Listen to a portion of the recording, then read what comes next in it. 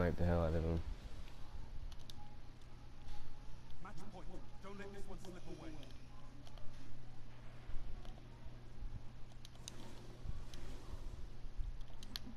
The one guy's coming left side.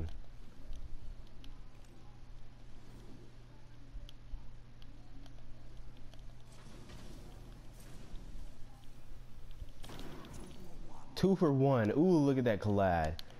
Ugh. Two double headshot.